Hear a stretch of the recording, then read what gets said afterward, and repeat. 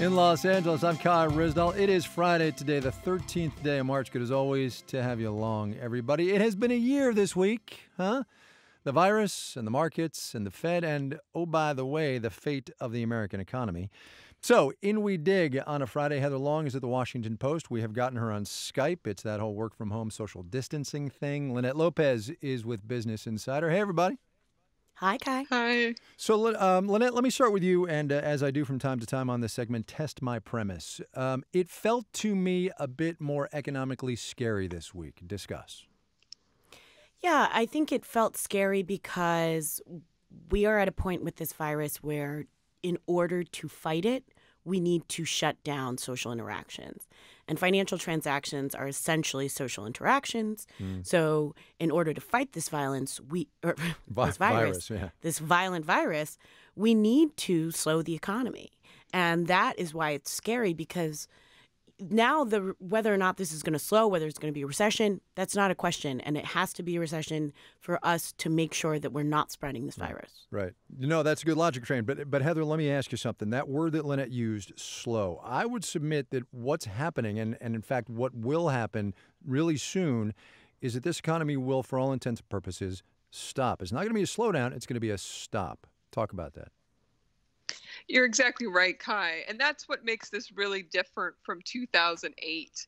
The good news is we don't have banks failing, at right. least not yet, like we did in 2008. But the really bad news is what you're describing that the entire economy, with the exception of maybe the healthcare sector, is basically grinding to a halt right now. And that is having rapid and widespread effects on you know so much of this economy. And this week we did a piece on the layoffs have yeah. already started. And it's not just at the ports where the ships are coming in or you know at the travel agents who can are no longer getting bookings. It's also bakeries in Nebraska right. and you know restaurants. And so it's just it's it's hitting so much of Main Street faster than what we saw in 08 Linette, change of gears. I want to talk about the Federal Reserve, and, and I do not repeat, not want to dig into the guts of the overnight repo market. But much was made mm. yesterday of the Fed jumping in with a trillion and a half dollars of added liquidity, which we'll get to later in the program, that concept of liquidity, but added support for um, bank interactions. Um, it speaks to the changing nature of this crisis, right? Yeah, I I try to think of it as like a, a, fi- a house on fire, right? Like if stocks oh, crash, okay. if stocks crash, it's almost like you're maybe it's a small fire. You have like a you know you mess up the paint on your wall. When you get to the repo market, you're questioning whether or not that fire is getting into the guts of your house, right? And to, and so the, the fact that the Fed is putting up that liquidity is really important to make sure that the economy keeps going.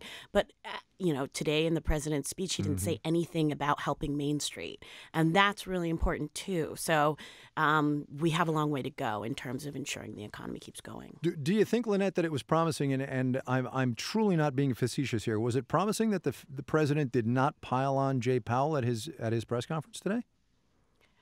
You know, thank God for small miracles. Yeah, okay. Um, right. It is, but the Fed is doing a lot of, of what it can do. And the thing is, this is a problem that is going to require the government to do something, not just the Fed, but the legislate right. legislators to do something. And, and Fed can and, only do so much. Right, and they're still going back and forth on that. I mean, you know, Secretary Mnuchin has spoken to Nancy Pelosi like 15 times today or something crazy like that. Um, Heather Long, let me ask you this: Is it possible a recession is already here and we don't know it yet?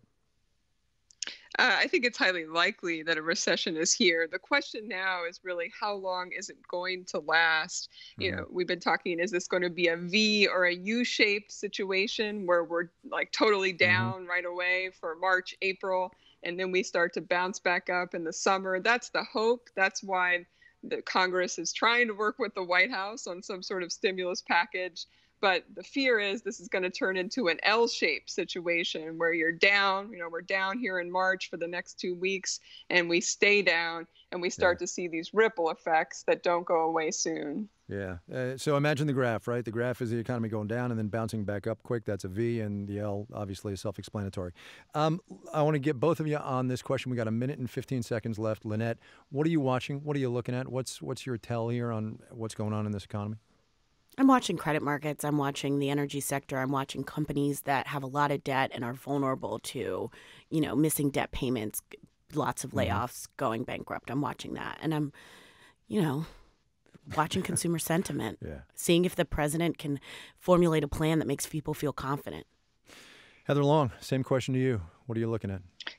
I think the number one thing you're watching is layoffs because that's um, showing you how this is going to be long lasting or not. I mean, that's a huge decision companies are making.